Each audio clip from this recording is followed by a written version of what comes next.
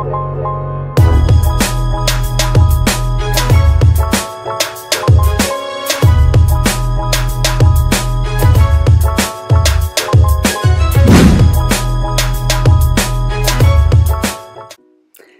merhabalar. Papatya mutfağıma hoş geldiniz. Bugün sizlere lezzetli mi lezzetli harika bir sütlaç tarifi sunmak istiyorum.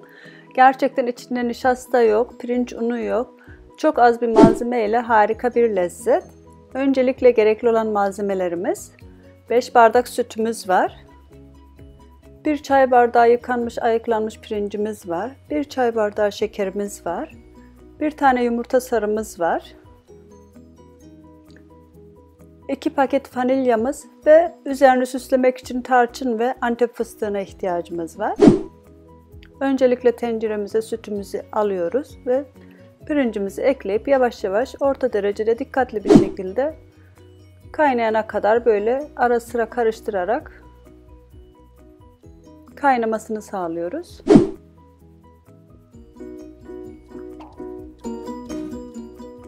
Evet, kaynamaya başladıktan sonra şekerimizi ilave ediyoruz.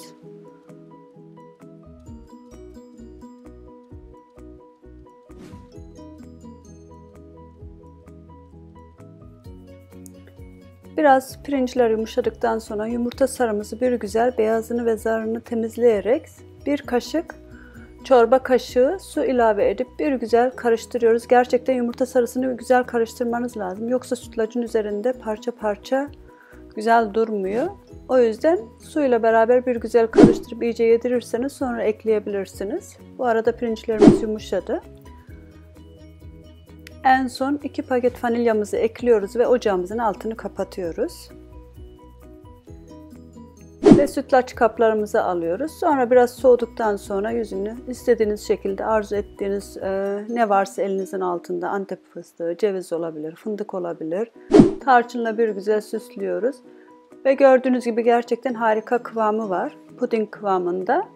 Videomu izlediğiniz için herkese çok teşekkür ediyorum. İnşallah yeni yeni videolarda tekrar görüşmek üzere. Herkese hayırlı Ramazanlar diliyorum. Abone olmayı unutmayın lütfen.